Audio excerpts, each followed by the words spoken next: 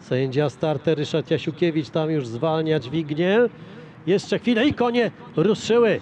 Yy, Niezły yy, start. Kto tam, kto tam ostatni? To Gen of Success. Tymczasem, yy, tym razem jest prowadzona na finish. Galopuje na ostatniej pozycji.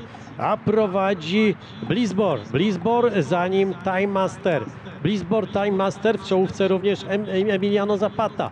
Y, To jest y, czołówka tego wyścigu. Tam również Power Barbarian. Stawka zaczyna się troszeczkę rozciągać. Do celownika koniom pozostało 1200 metrów. Y, Zatem Blizbor na drugiej pozycji od pola y, Time Master przy wewnętrznej Emiliano Zapata. Y, Dalej Power Barbarian. To jest czołówka. No i ciągle ostatnia galopuje Gen of Success. Z tyłu również jest Blue Connoisseur. Tymczasem konie za chwilę już są w pół zakrętu. Zdecydowanie Blizbor. On tutaj dyktuje tempo. Pilnuje go Time Master y, przy wewnętrznej Emiliano Zapata od pola Power Barbarian. To jest czołówka. Tam do przodu przesunął się Zanzili Passion większym kołem. Kanad trzyma Westminster Cat.